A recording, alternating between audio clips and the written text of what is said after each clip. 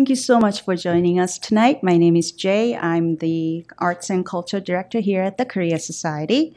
And tonight we have Professor Min-Soo Kang.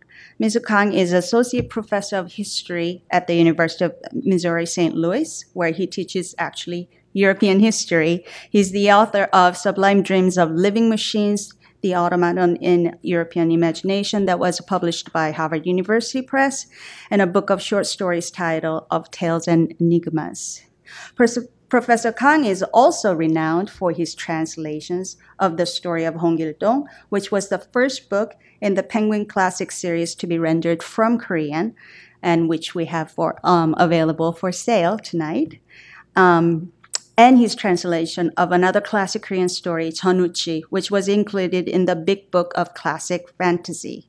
His latest book and the title of his talk tonight is um, Invincible and Righteous Outlaw the Korean hero Hong Gil-dong in literature, history, and culture, which happens to be the first book-length study of this novel in English. So please welcome Professor Min-Soo Kang.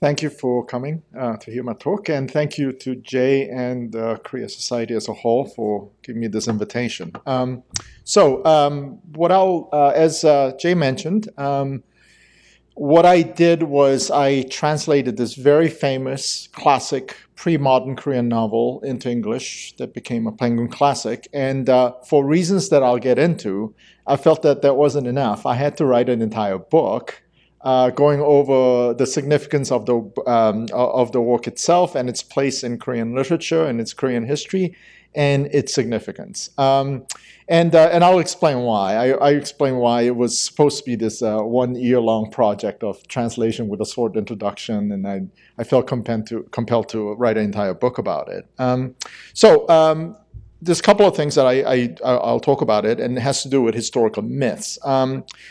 Um, so to begin with, I mean, this this for me, this all started so so very long ago when I was an undergrad, and uh, uh, as I was um, taking various introductory classes on uh, um, on historical uh, methodology, I took a class on um, cultural history, and one of the books that we read uh, is still one of my favorite uh, history books of all time. Um, the great English historian Eric Hobsbawm's book. Um, uh, Bandits, which came out in 1969. Um, and uh, in it, uh, he asks a very good question, which is that, um, you know, if we human beings um, came together and built civilizations rather than living out in the wild and, you know, um, in small tribes, um, if we came together, you know, uh, in order to uh, keep ourselves safe um, and to have a uh, civilized society in which there are rules. Um, it is natural, of course, it is completely understandable that we would make great heroes out of the people who enforce those laws, uh, the great order givers. Um, but uh, Eric Hobsbawm uh, asks this really interesting question that if that is the case, why are we also completely fascinated with outlaws? Uh, people who disrupt those uh, rules. Um, and uh, why are we, in some cases, much more interested in figures like gangsters and uh, bandits and so on, even uh, more so than uh, the lawgivers? Um, and and he he spent the entire book explaining the, explained that really really good question. Um, and what he one of the approaches that he took was that he uh, gave a, a, a, described a series of different types of outlaws, real and imagined. Some of them just you know completely fictional. Um, that people have paid a lot of attention to, and he, he uh, and he shows that there are different archetypes, um, and uh, um, and there, there's a type of outlaw that he calls the noble robber. Now these are people who are clearly breaking laws, but they are actually admired for breaking laws. Uh, they actually uh, even you know idolize for breaking laws, and people uh, give a lot of support to them breaking laws. Um, and uh, so, in his description, and in, when when was trying to figure out why why these uh, this particular type of lawbreakers are idolized, um, he goes into specific descriptions of a typical noble robber, and uh, and he says there are nine general characteristics that are attached to it, the noble robber type. And uh, as I read this, um, I'm going to ask you, like, who comes up in your mind immediately when I describe? Um, number one, uh, the noble robber begins his career of outlawry not by crime, but as a victim of injustice or through being persecuted by the authorities for some act which they, but not the customs of the people, regard as criminal. Second, uh, the noble robber rights wrongs. Third, the noble robber takes from the rich and gives to the poor. Fourth, the noble robber never kills except in self defense or just revenge. Fifth, if the noble robber survives, he returns to his people as an honorable citizen and member of the community. Indeed, he never actually leaves the community. Uh, number six, uh, the noble robber is admired, helped, and supported by the people. Number seven, he, the noble robber dies invariably, invariably only through treason, uh, since no decent member of the community would help the authorities against him. Uh, the characteristic number eight is that the noble robber, at least in theory, is invisible and invulnerable. And finally, number nine, he's not the enemy of the king or the emperor, who is the fount of justice, but only of the local gentry or clergy or other oppressors, right? Who? Right, Robin Hood, right? I mean, he's, he's, he's the most famous one. I mean, this is just basically a description of uh, who Robin Hood is. Um, now, the brilliance of this book, I mean, the, the, the, aspect of this book that really blew my mind is that what Eric Hobsbawm uh, shows is that that noble robber type, uh, like, like Robin Hood, you can find all over the world. There's a local Robin Hood in East Africa, there's one in Eastern Europe, there's one in China, there's one in uh, India. Uh, pretty much every culture has a legend of the noble robber who seems like basically the same guy right? I mean, has, has very similar stories. Um, and, uh, um, and, and, uh, and so I did that, that aspect of it is as famous. Um, and it's not, it's not because of the influ- Western influence of the Robin Hood figure. I mean, these were ancient figures that's been, you know, embedded in this culture. Um, now, um, when I read this as a Korean, my first thought was like, this is Hong Gil-dong. I mean, my first thought wasn't Robin Hood. My second thought was Robin Hood. This is Hong Gil-dong, right? I mean, this is the great hero that I grew up with, and mostly from uh, the comic book versions. Uh, and also, there was an animated film of this, right? Uh, and this is a very famous um, uh, figure from the 1960s. Uh, and, and this figure, this cartoon drawing of the Hong Gil-dong figure is so famous that for the vast majority of Koreans, when they think of Hong Gil-dong, that's what they see. This sturdy young man with a blue uh, um, a blue coat and uh, with a sword and, and so on. Um, and so um, he is, uh, all Koreans know who Hong Gil-dong is. Um, I mean, just that it's, it's kind of hard to imagine an English person not knowing who Robin Hood is. Right? Uh, it's kind of hard to imagine, uh, you know, a Korean not knowing who Hong because he's just so famous. And in many ways, without too much exaggeration, you could say that the original work that his uh, story is based on, the Joseon Dynasty novel, The Story of Hong Gil-dong, um, is probably on that level the most single most influential fiction that comes out of the Joseon Dynasty, uh, just just, uh, just because of the sheer influence of it. Um, and uh, um, and you know one of the ways you could gauge uh, how influential it is, uh, influential Hong Gil-dong is, the name Hong Gil-dong is used like John Doe in the West, in the sense that um, if you see a form to, that you need to fill out in Korea, and at the place where you're supposed to put your name, just as an example, people put in Hong Gil-dong. Right? So anywhere a name goes, name's supposed to just use. Um, I, I, am not kidding you, but I've been to a funeral parlor where they show a bunch of different grave, uh, you know, uh, sort of gravestones and tombstones that they have, and they have Hong Gil-dong in it, right? Where the name goes, right? Not because the name is associated in any way with death or funeral or anything like that, but just John Doe, right? Um, so now, uh, I, I was, I mean, this figure is so famous that um, I have actually, at that point, as an undergrad, had never read the story of Hong Gil-dong. To this day, the vast majority of Koreans have never read the story of Hong Gil-dong, right? But they all know the story because it's so famous, right? Uh, and uh, much of my familiarity at that time came from the comic books, children's comic books, and so on. Um, and it's not that different from, um, you know, I, I, saw this really uh, uh, hilarious document, uh, travel documentary where this film crew went to the town of La Mancha in Spain uh, where Don Quixote takes place, right? Um, and you go to La Mancha, and the entire place is a tourist trap for Don Quixote enthusiasts. Right? There's Don Quixote stuff everywhere. Don Quixote statue, Don Quixote stuff, windmills, you know, that you can go to, and so on, right? Uh, and uh, um, at the end of the documentary, they did something funny where they started asking people in the village, uh, when was the last time you read Don Quixote? They couldn't find a single person in their village who actually read Don Quixote, right? And, uh, um, and, and one of the reasons for that is that they're so familiar with the story, they don't think they actually need to read it, right? Uh, because it's been represented so many times, you know, uh, in movies and TV and so on. And, and, you know, the scenes are iconic. And I think for most Koreans, they feel that way. Um, now, one of the most uh, you know, famous scenes that all Koreans are familiar with is the great lamentation of Hong Gil-dong right? Because he was his father was a noble Yangban, uh, um, Yangban nobleman, but his mother was a, a, servant girl in that house, so he was an illegitimate child.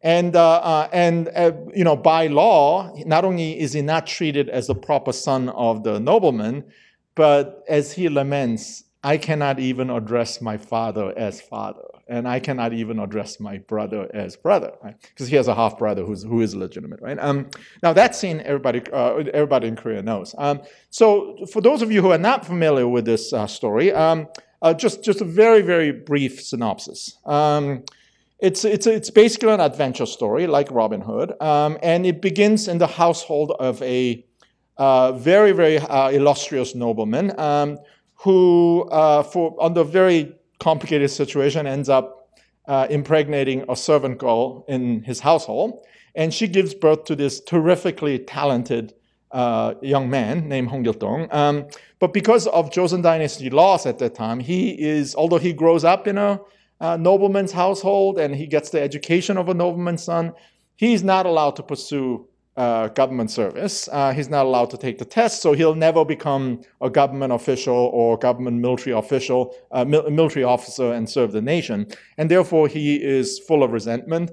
And uh, finally, he, as a young man, after um, his stepmother tries to arrange for his murder, he leaves home and comes across a group of bandits. And he immediately takes over control over them. And he turns out to be not only a kick-ass warrior, but a master magician who can create a bunch of different, uh, you know, um, uh, replicas of himself. He can fly around in clouds. He can, I mean, he's, he's basically, you know, becomes invincible, right? Um, and uh, and after uh, after doing all the kind of Robin Hoody kind of stuff, right, uh, where he steals from corrupt people, although he doesn't do a lot of giving to the poor people. I mean, just, but he, uh, but he, uh, um, he intercepts uh, bribery and punishes, uh, you know, corrupt noblemen and so on. And uh, finally, until the, even the king hears about it, and he sends policemen after him.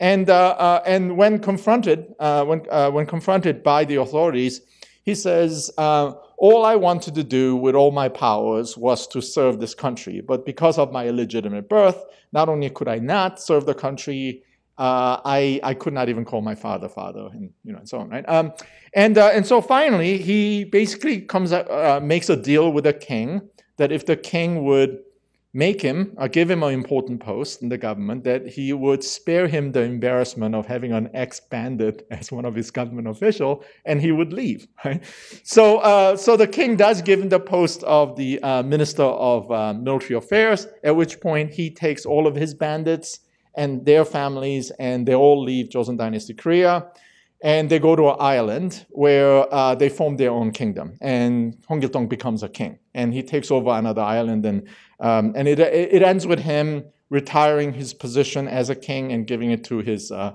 his son and so on. Right? Um, so that's, that's basically the story. Um, now, uh, this is um, the reason why I uh, got really interested in this is because um, in 1968, uh, only in 1968, the, uh, the, first translation of the story of Hong Gil-dong was made into English by a man named Marshall Pihl.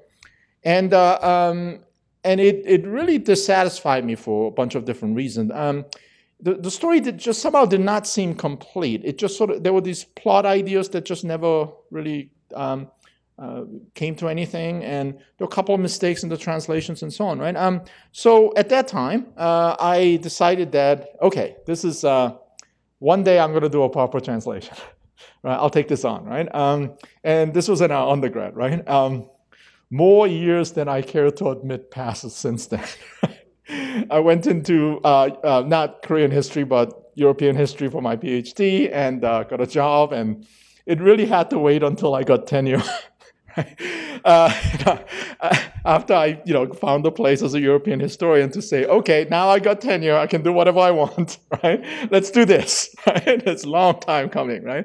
Um, so um, I, uh, I went to this. I, so I started looking into this. So uh, I started looking for a good manuscript to work on uh, for the translation.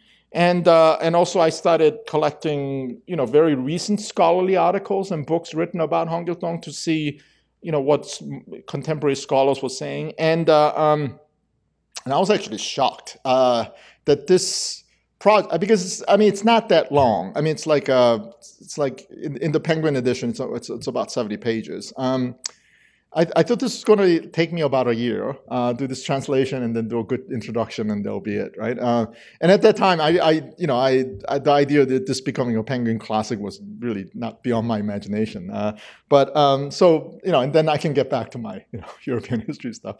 Uh, but as I was doing research on it, I, I was shocked. I was just completely shocked at what a complex project this was going to be. Um, because first of all, there are 34 surviving versions of the story of Hong Gil-dong. And they're of different lengths. Uh, there are episodes in one that doesn't appear in others. Uh, there's some um, there's some idiosyncratic um, you know variations and so on. Um, and uh, in fact, the longest one, uh, the Pilsa 89 version, which I ended up translating, is five times longer than the shortest. And one of the shortest version is what the previous translation ha- handled, which is why it was, it sort of kind of didn't, you know, uh, it, it, just felt incomplete, right? And, and I'll tell you again why there are different versions of it. Um, so one of the big questions that I had to face was like, so I want to translate the story of Hong which one? right? And so I had to do research into, you know, which one would be the best one to do. Um, and then, uh, once I started reading the uh, scholarship about the story of Hong Gil-dong, um, I was even more shocked to find that almost everything that most Koreans, vast majority of Koreans, think that they know about the significance of the story of Hong Gil-dong is just completely wrong. Uh, they seem to be a series of myths that have been fairly effectively uh, exploded by scholars and historians, um, but really hasn't seeped into uh, general uh, consciousness about them. And uh, um, and these um, and and and you know and that's and also I'll, I'll talk a little bit about why, despite the fact that these have been revealed to be myths, that they still persist. Um, so um, there are four main myths uh, that i I discovered to be myths rather than uh, historical facts. That uh, I mean, if you ask most Koreans, they'll they'll they'll think that the, the, these are the, sort of the important things that you have to know about the story of Hong Gil-dong. One, that this was the very first Korean fiction, work of fiction, prose fiction, to be written in Hangul, the, the, uh, the native Korean phonetic script that was invented by King Sejong in the 15th century. Right? It, it's just, just not true. This is this just, uh, or, or, rather, there's just absolutely no evidence for it. Number two, uh, that the story of Hong Gil-dong is was written probably in the early 17th century by a specific writer by the name of Ho Gyun, uh, who died in 1618. He was executed for tre- treason. Um, again, this is highly unlikely. I mean, it is so unlikely that this is in all probably not to be the case. Uh, Hogyun was not the writer of uh, the, the, um, the story of Hong Gil-dong that exists today. Uh, number three, that Hogyun, uh, the writer, wrote it in order to protest um, Joseon Dynasty laws concerning illegitimate children, which is what Hong Gil-dong was, right? That, that, that was his main purpose. And it, this is related to number four, the, the number four myth, that Hogyun uh, was writing this work because he was, he was a kind of a Joseon Dynasty proto-socialist, possibly a proto-democrat, uh, who was prote- protesting against feudalism itself and, uh, and, and the feudal order and that he wrote the story of Hong Gil-dong about this rebel who breaks laws and makes full out of the king and punishes corrupt noblemen as a kind of a political manifesto of his radical ideas. And it was because of those radical ideas that he was uh, executed for treason at the end, right? Um, this is just, just complete nonsense. Uh, I mean, if you really look at uh, Hogyun's life and his ideology and the circumstances under which he was executed, there's nothing to do with it. Um, so uh, I'll, I'll, talk about why those four ideas is just sort of deeply, deeply embedded uh, in most Koreans' perception of the work when it turns out that they are all uh, myths, right? Um, so, but before we get to that, a couple of steps, a couple of historical steps um, to go into systematically so we'll have some understanding of where these um, ideas come from. Hong Gil-dong uh, was a real-life historical figure. Uh, he was a bandit um, who operated in the uh, the southwestern province of Chungcheong, Chungcheongdo, and uh, um, and there are real records in the royal records that he was captured in the year 1500, right? And uh, uh, there's not, I, I, mean, beyond that, uh, I mean, I, I, I, found and poured through every single uh, historical record of this, of the real life Hong Gil-dong. Uh, it doesn't yield very much. We don't know where he's from, uh, why he did what he did, what kind of a background that he came from, and um, and we don't even know when exactly he was executed. We just know that he was captured in 1500. So we can guess that he was executed fairly soon after, uh, possibly in the same year. Um, but one thing is clear is that um, he did tremendous amount of damage. Uh, apparently, lots of people well, were hurt by his actions. Um, and at that time, um, he was regarded as this horrific villain uh, who brought a lot of suffering on the people. In other words, um, if there was, and there's no evidence for this whatsoever, if there was an oral tradition of discussing Hong Gil-dong as a kind of a hero or Robin Hood-like figure who was beloved by the people, those legends would have come out a long time since 1500. Because in, in around 1500, um, there was still a lot of evidence that he and his actions were greatly resented by the people. Right? Now, um, so um, the other problem, uh, the, the, and, and then what happened was that Sometime after 1618, uh, when Hogyun, the purported author of the story of Hogyun, uh, Hong was executed, um, a, another writer uh, named Yi Shik uh, made a commentary uh, in one of his writings about Hogyun, and, and he wrote that Hogyun wrote a work called The Story of Hong Gil-dong, and uh, uh, in imitation of Water Margin, which is the great Chinese epic of bandits, uh, it's like thousands of pages long, um, and so on. So he, in other words, Hogyun loved this story, the, the, this Chinese version of you know Hong Gil-dong story, um, so much that he decided to write a Korean version of it and used Hong Gil-dong uh, as the hero. Right? And uh, uh, now, if Ishik had never said that one sentence that Hogyun wrote the story of Hong Gil-dong, nobody, nobody, no, no Korean would ever thought that he uh, Hogyun would have written it. Um, but here's the thing um, Ishik emerged as one of the most significant writers of mid Joseon Dynasty period. His writings were lauded. I mean, his and his collections of his collected writings were really like you know required reading for um, uh, Joseon Dynasty writers. And as a result, this notion that his his former teacher Hogyun uh, wrote the story of Hong Gil-dong got repeated over and over again throughout the Joseon Dynasty. Um, but here's the thing. I mean, uh, but, but I'll, I'll, I'll, get to that point. Uh, so this is where the idea that Hogyun wrote uh, the story of Hong Gil-dong uh, comes from. And then what happened was that um, in, um, in, ni- in, 1930, uh, during the Japanese imperial era, a Korean nationalistic um, uh, literary scholar by the name of Kim Tae-jun, he wrote a book called Joseon Soseolsa, which means the history of Joseon dynasty fiction. So just just on prose fiction, not poetry, not nonfiction. Um, and uh, um, and it is apparent that he loved, loved, loved the story of Hong Gil-dong.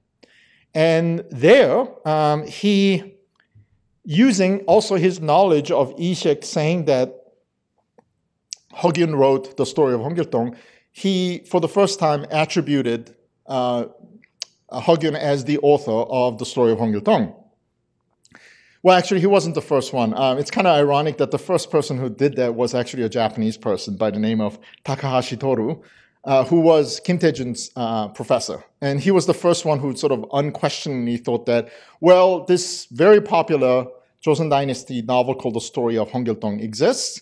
And here is a record all the way back from the 17th century of this very famous Joseon Dynasty writer Ishik saying that Hogyun wrote this wrote a work entitled The Story of Hong Gil-dong. So he just connected it without really thinking that much about it. And this Japanese scholar Takahashi did that, and his student Kim Tae-jun did this, right? Um, okay, so this is this, these are the historical steps that took to creating this myths about uh, the story of Hong Gil-dong. So, um, so this couple. Okay, now here's where it becomes problematic. Here's why that entire uh, edifice of these myths uh, starts cracking to pieces. Number one, um, as I said, there's this thought, there's no less than 34 different versions of the story of Hong Gil-dong um, in existence, um, and every single one of them are either from the 20th century or late 19th century. Nothing precedes that. Um, now, some of them don't have dates. Uh, uh, many of them don't have dates, but the earliest one that does uh, dates from 1893 and the latest one from 1936.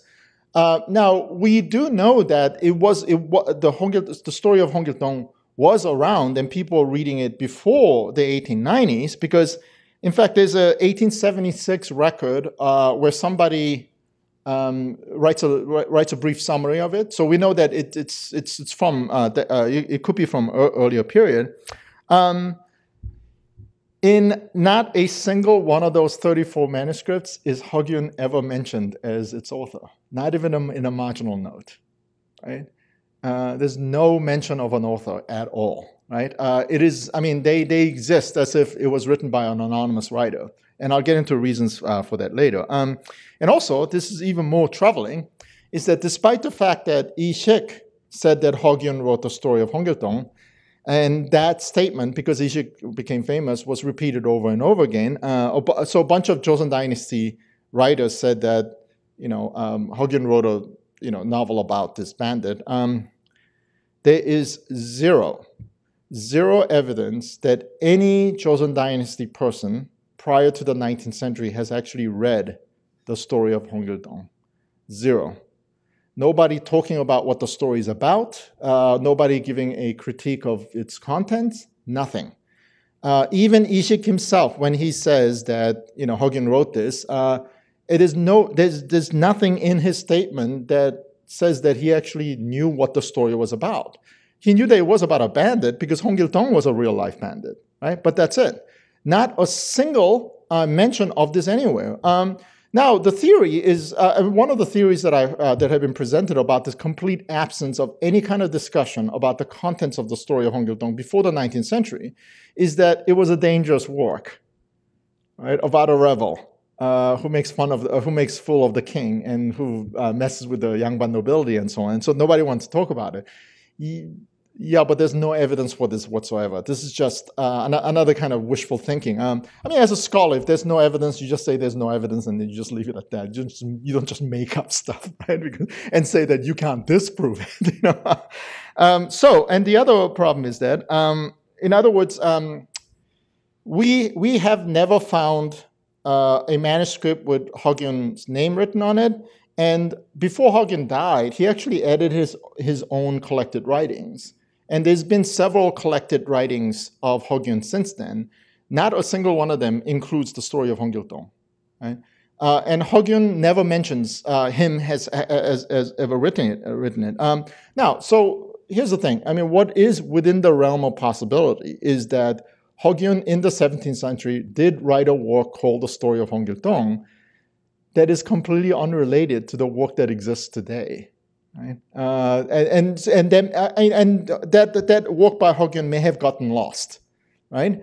But what exists today is something that was written significantly in a uh, in a significantly later period that has nothing to do with Hogyun, right? Um, now, um, but here is um, the biggest problem. I mean, uh, the biggest problem with this narrative is that um, this, uh, this is another thing that comes from Kim Tae-jun's uh, 1930, 1931 work, uh, the story of, uh, I mean, the, the, the um, history of Korean uh, fiction, is that uh, he presents a theory uh, about where the story of Hong Gil-dong belongs. And his theory goes something like this.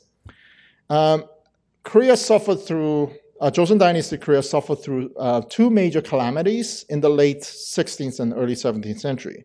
The first is the Japanese invasion of 1592 to 98.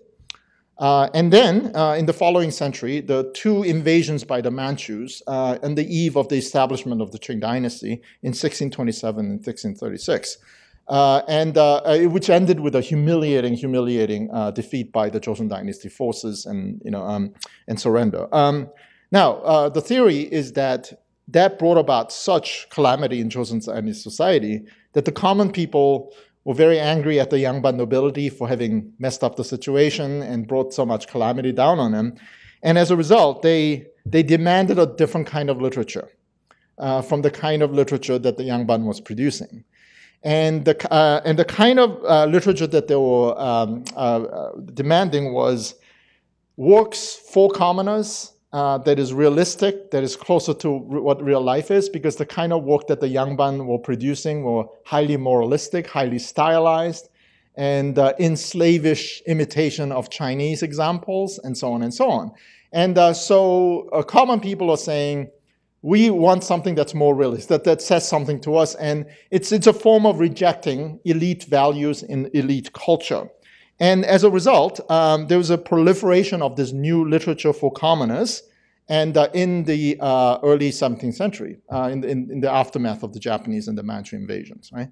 Um, and this idea of this creation of a commoners literature in the early 17th century is something that has been repeated over and over again, not only in Korean, uh, not only in Korean Korean textbook, but in English language histories of Korean literature. This is um, you know said over and over again.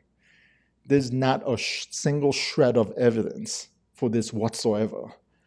Uh, that there was this massive proliferation of commoners literature, right? Um, and uh, but uh, there's there's just no. Uh, I mean, and, and and also this idea uh, is completely implausible because of the low literacy rates of the commoners at that time, right? And, uh, uh, and, it's, uh, and, and the idea that there would be any kind of a marketing publishing, publishing system for so few people, um, it's, it's completely implausible. And they, I mean, at the end of the day, there's just no documentary evidence whatsoever for this kind of thing have happened.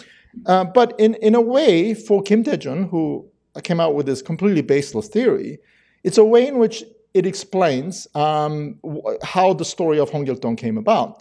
So you have this Yangban no, noble writer, Hogyun, who, unbeknownst to himself, is a kind of a proto-socialist, proto-democrat, uh, who care about the people, who care about the common people, and hated people of his own class, right? Um, and therefore, uh, he gave the common people a great gift in the story of Hong Gil-dong right? To inspire them to rebel, to inspire them to ask for a more just society. And he made a hero out of this outlaw, right? Uh, and so that's that's that's the way in which uh, it's uh, idea, but uh, that's the way in which this idea is justified. Um, again, no evidence for this whatsoever. There's zero evidence. Um, and by the way, um, the idea also is that th- this also intertwined the idea that um, unlike the noble Yangban, who wrote pretty much all of their literary writings in classic Chinese.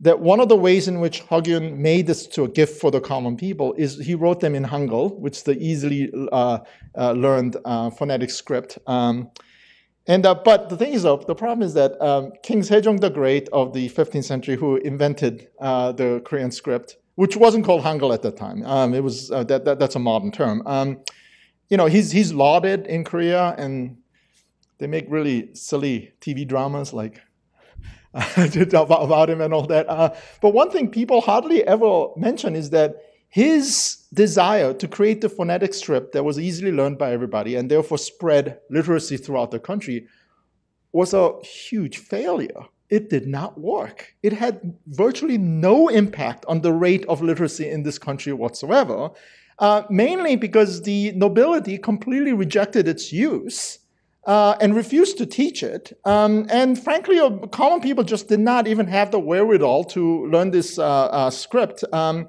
there was indeed, you know, I mean, it's, it's, it's, it is very easily learned and so on. Um, in fact, um, the most common term for what is now called Hangul is, was Onmun, which literally meant the vulgar script. It's, it's the nobility, Yangban nobility's uh, term, the vulgar script. Now, it didn't completely die out. Uh, there were certain sections of Korean society where they started using it. Um, like translators found it extremely useful because it, it, it present, represented sound. Uh, noble women used it to le- write letters and diaries among each other because, um, and, and therefore, amgul, which means woman's writing, became another derogatory term for this, right? Um, but, but it was, I mean, it had no, uh, it had no impact, zero impact on the overall literacy of the country as a whole. Um, and, uh, and, and therefore, uh, the idea that in the 17th century, all of a sudden there will be this proliferation of commoners' literature written in Hangul just does not make any sense. And not only does it not make any sense, again, zero evidence. It's just complete and utter lack of evidence for this, right? Um, so now, um, you may be thinking that if, if, you're, especially if you're uh, somewhat familiar with this, um, if none of this is true, if this wasn't written in the 17th century, it wasn't written by Hogyun, it wasn't written as a, a, protest against Joseon Dynasty feudalism, then, then what, what the hell is it, right? Where does it come from? I mean, what is this history? Um, well, thanks to the um, um, work of uh, contemporary scholars, um, particularly there's a professor at uh, Yonsei University named Lee Yoon-suk who's done incredible work on this topic. Uh, we do have a much more plausible theory about the origins of this book and uh, and what its meaning is. Um, and it's it's it's uh, in itself it's uh, it's pretty interesting. Um, now, um, the 18th century uh, so the 1700s for Joseon Dynasty was a completely fascinating period. Uh, in many ways, to me, uh, one of the most uh, fascinating period because um, uh, it's a time of unprecedented period of peace and prosperity. Um, one of it was one reason for that was thanks to um, the fact that it had reign, really long reigns of three excellent monarchs. Um, Eh, King Sukjong, and then after a very brief and you know inconsequential role of King Kyung-jong, King Yeongjo and King Jeongjo, who lived uh, all three have very long periods. Um, and these were remarkable, remarkable kings. I mean, they didn't mess around. They they really ran the country like professionals. And uh, uh, and they uh, you know they um, they um, instituted advanced agricultural techniques, and there was a great deal of prosperity, advancement in learning, um, and, and a fairly significant amount of social mobility. Um, now, they were allowed to do this because East Asia in general was in peace at the time. Uh, because the Japanese uh, Tokugawa shogunate was in an isolationist mode, uh, so the, you know Korea didn't have to worry about them, and the northern people in the borders were kept under strict control by the Qing dynasty uh, lordship. So uh, not much to worry about in terms of foreign. So that allowed the Korean kings to concentrate on um, domestic affairs, and these three men did it spectacularly.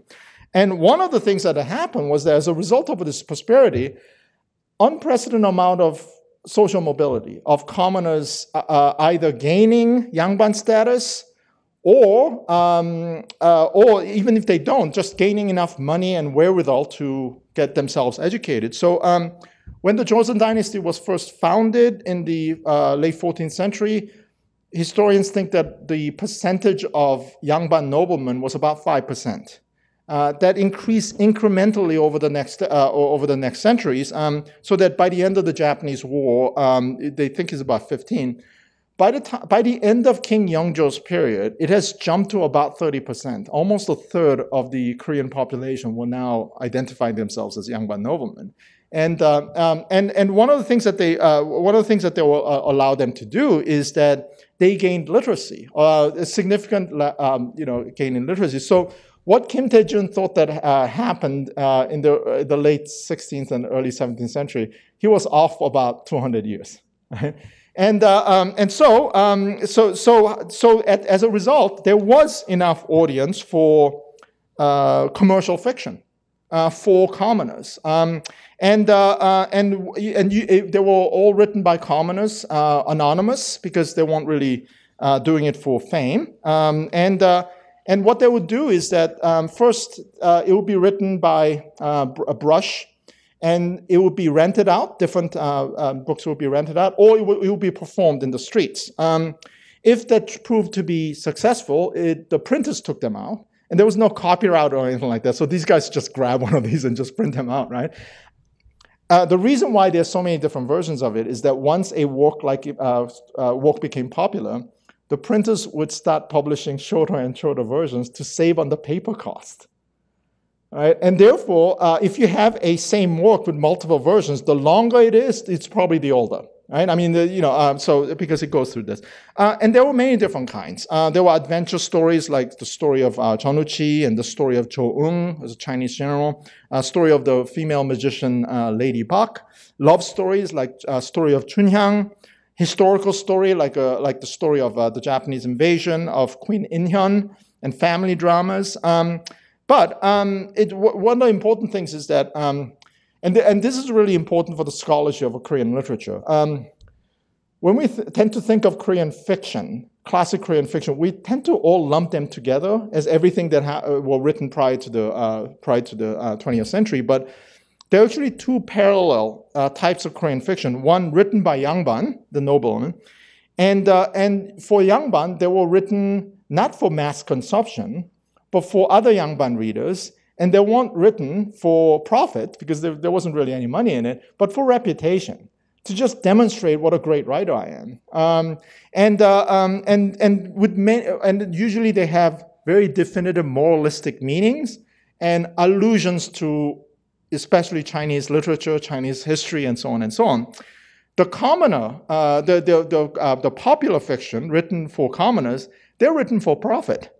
Uh, and they usually, they, I mean, the moralistic message and all that's there, but it's not as important as just emotional attachment, uh, excitement, and, and, and, uh, and fast action and so on. So if you read those two, I mean, you can see that they're, they're very, very different kinds of works, right? Um, now, uh, the story of Hong Dong, which one does it belong, right? Um, so you, you, you check it out by doing a comparative analysis. Um, the story of Hong Gil-dong does not in any way resemble the kind of works that Yangban were producing. But you put it side by side with 19th century popular fiction in terms of its structure, in terms of its subject matter, and how it fits right in there, right? This is a 19th century work, right? I mean, there's no, there's, there's just no doubt about it. It came out of the 19th century. Um, but uh, just to go quickly, I need to wrap it up. Um, just uh, very briefly, um, Here's the reasons why, despite the fact that if you just do the comparative analysis, it's very, it's, it's very obvious that this was written probably sometime in the middle of the 19th century by an anonymous commoner writer for profit. And uh, uh, even if the nobleman Hogyun did write it, did write a version called, uh, uh did write a work called The Story of Hong Dong, this is not it, right? This is, it would have been a completely different work. Uh, but there, there, I, I, think there's three reasons why uh, we still like to persistently, uh, Koreans um, generally persistently hold on to this idea. Is that first of all, the work by Kim Tae-jun on the history of Joseon Dynasty that's really, really influential. I mean, that's the first work to really write about Joseon Dynasty literature, and it's and that kind of influence is really hard to shake. And as and also, uh, frankly, there's lots of scholars who are unwilling to like correct their work. and because this is the basis upon which they, they built their um, entire theory. Um, but also, the, another problem is that uh, the Korean education system's way in which teaching literature is very, very problematic. They don't have students read the entire work, but they have like one paragraph, and then they're forced to memorize a series of facts right? And some of the facts include the story of Hong Gil-dong was the first work written in Hangul. It was written by Hogyun. It was written in order to, you know, and, and when and these guys just uh, just memorize these facts so they can put in the right answer for uh, for their college entrance exams, right? Um, and but the, uh, the the other thing is that I think um, I think there's a significant amount of elitism involved. Right? I think this is one of the most significant works of Korean literature. I think Koreans would prefer to think this is a work of a highly educated, noblemen uh, with you know with, with just fancy you know educate, educational background. And the idea of a anonymous commoner writing this for profit just somehow seems cheap to them right? And you know and by the way uh, you know there's uh, i'm sure you heard this this conspiracy theories about maybe shakespeare didn't write his works right? Um, i it's, it's a huge freaking waste of time because uh, it's, it's, it's complete nonsense because we know exactly how, how well uh, Shakespeare was educated and so on. But I think, I think there's elitism going on because, you know, Shakespeare came from the middle classes. I mean, uh, and so when you look at like conspiracy theories about who could have actually written it, they're all noblemen like Francis Bacon and Edward de Vere and so on, right? Um, but the thing is, I, I just want to put this. Um, to me, this is, that kind of elitism is both completely understandable, but at the same time weird because we now live in a democratic country uh, where we put a great deal of uh, value to the people's expression, and this is quintessential an expression of um, the uh, of the common culture of the people. And, uh, and just because it was written for profit for a market doesn't mean it's less literature. Shakespeare was for the people. Um, some of the greatest writers of the 19th century, Charles Dickens, you know, Honoré de Balzac, were popular writers. Um, and as a result, um, what I see as a historian uh, is um, really a voice of the common people of the 19th century because 19th century, unlike the 18th century, became very, very problematic for the Korean people. The kingdom starts falling to pieces. There weren't any, uh, you know, all the kings proved to be horribly, uh, uh, um, horribly incompetent and so on. And it was in that period of anxiety about the future and about you know, the, the falling uh, apart of the state that they live in, that they came to idolize this outlaw hero. Uh, and, uh, and as a result, uh, that, I, I, think that's, that's the proper way to uh, um, go about it. Now, um, so that's, that's the gist of what I want to say. I just want to say one last thing before I uh, open up for questions is that, um, you know, this, this is a very interesting time to be a Korean in America right now. Right? Because uh, for especially for a lot of young people, all things Korean has become kind of hip. people are listening to pop, you know K-pop and you know watching Korean movies and so on. And uh, and I, I am pretty sure that um, you know my translation also came at the right time. And uh, I cannot tell you how grateful that I am uh, at my wonderful editor at Penguin, uh, Sam Rame, and uh, the whole team there and to get this out because um, I regularly, you know, get pictures from classrooms uh, of not only Korean Americans getting to know this great, wonderful hero uh, who was so important to me as a child, but also just Americans finding out about this, about, about the Korean Robin Hood. And, uh, um, and you know, I, I, like to um, uh, uh, usually, it's just uh, in a fun way, describe Hong Gil-dong as the one genuine Korean superhero. right? And uh, uh, he would be a great addition to uh, the, uh, the Avengers, for instance, right? And, uh, uh, and so I am very grateful to Penguin Classics, um, and, um, and, and I'm, I'm also really grateful to, to the University of Hawaii for giving me the opportunity to give um, the full account what may be the true significance of the story of Hong Gil-dong. Thank you very much.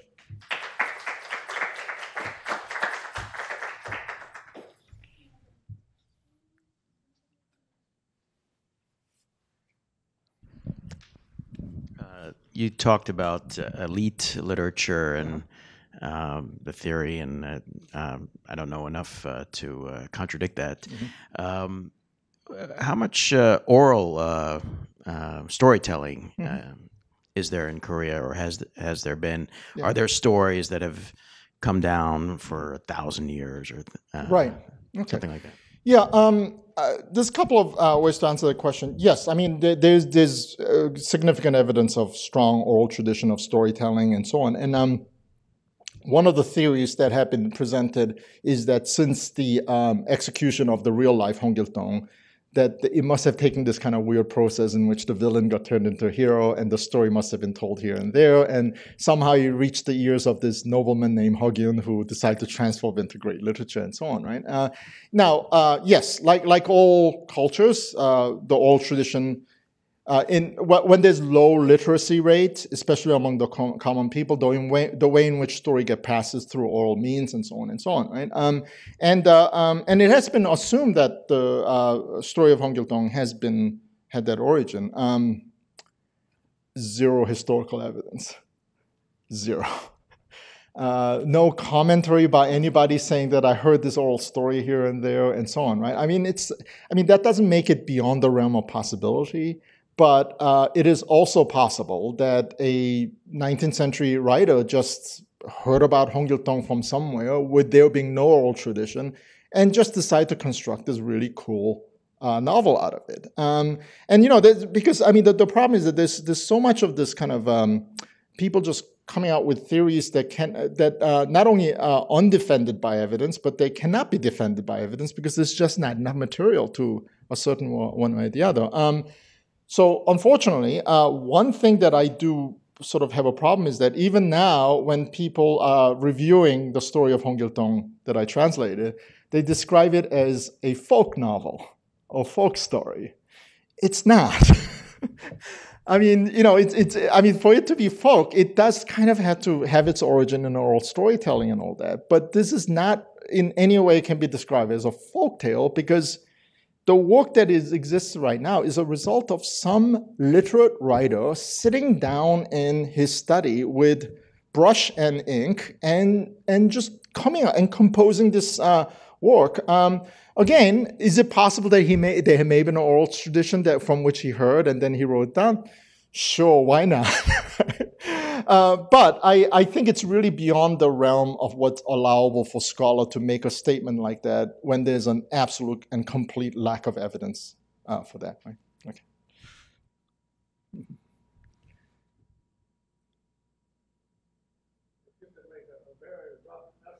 Uh-huh.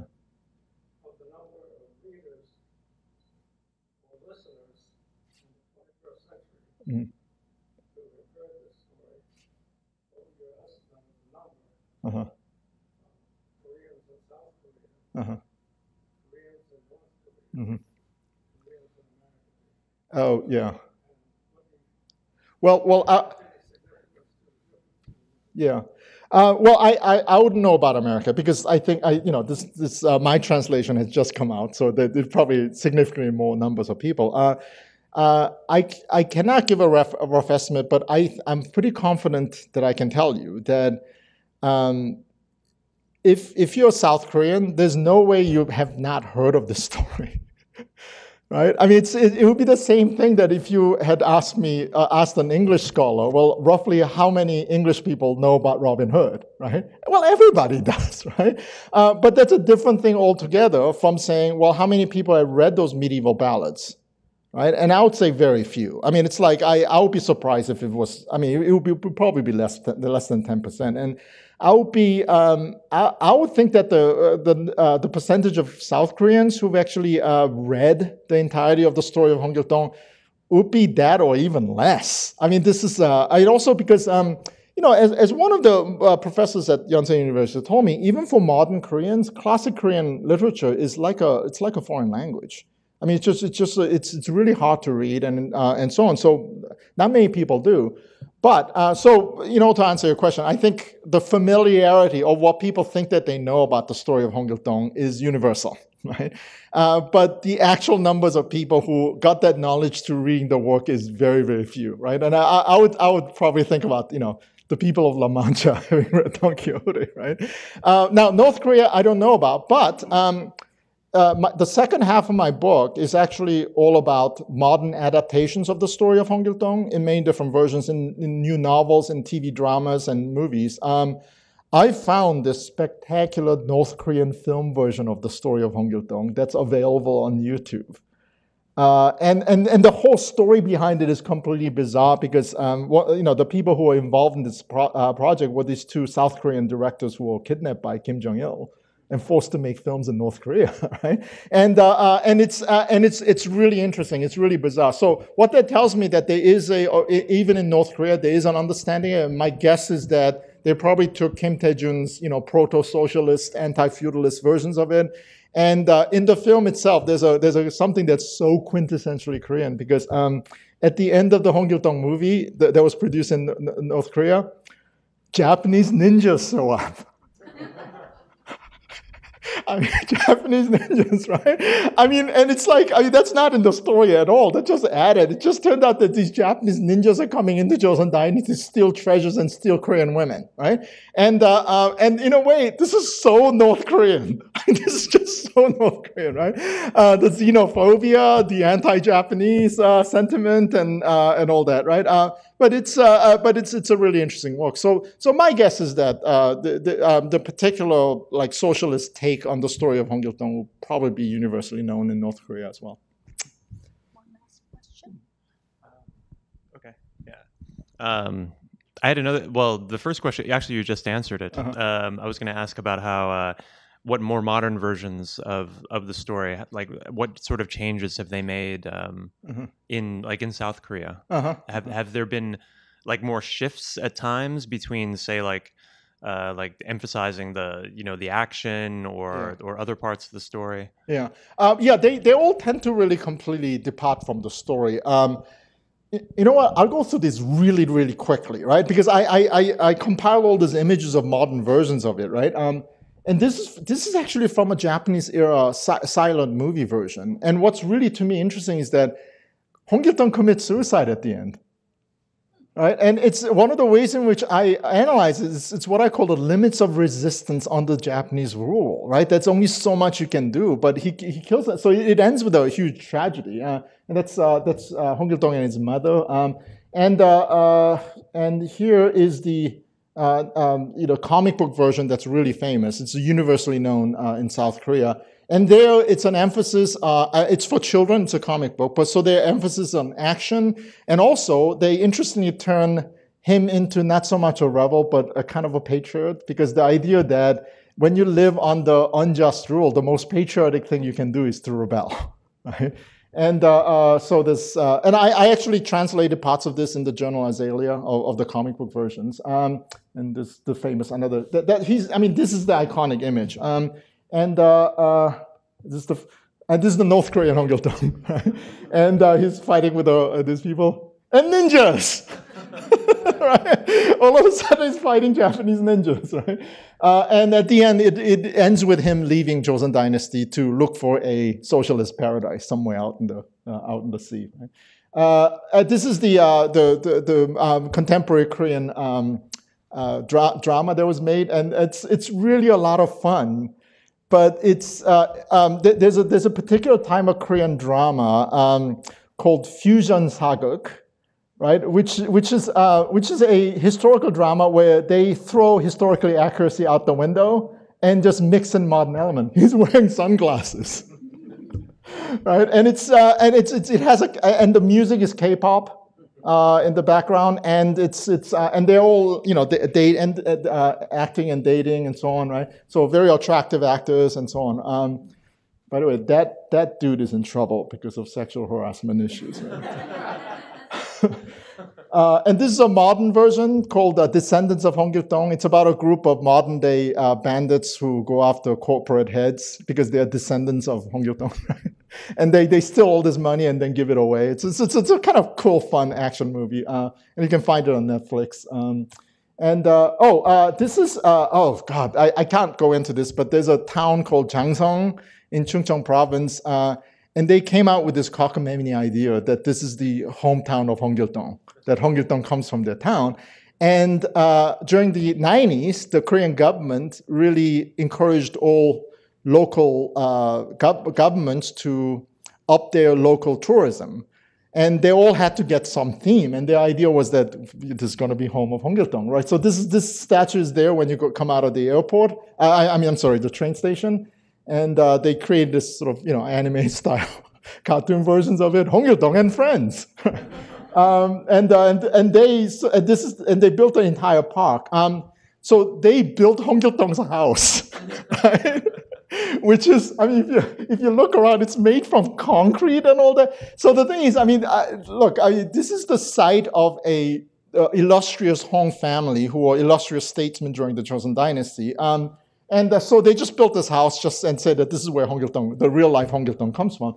But the, the thing that, I mean, to answer your question, the thing that really disturbed me the most was that in the placard where you see Hong Gil-dong's father and Hong Gil-dong, he's kneeling down and he's about to go off on his adventures. On the placard, it says, Hong Gil-dong's father exhorts him to go out there and save the people and fight against corruption, right? Now, if you read a novel, it's exactly the opposite, right? Hong Gil-dong defies his father, right? But this, this park is for kids.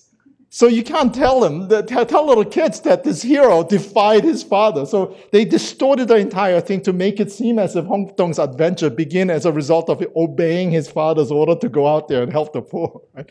Uh, so uh, yeah, so I so I went there and I you know and, and went through diff- different versions of it and so on. Right? Thank you so much. Um, we do have the translation available for sale tonight. And if you have any additional questions, please remain. But thank you so much for coming tonight. And thank you, Professor Kang, for your lecture. Thank you so much. Thanks for coming.